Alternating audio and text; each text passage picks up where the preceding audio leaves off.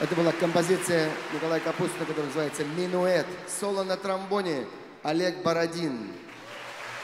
Соло на трубе Александр Беренсон. Соло на контрабасе Сергей Корчагин. Соло на альтсаксофоне Илья Морозов.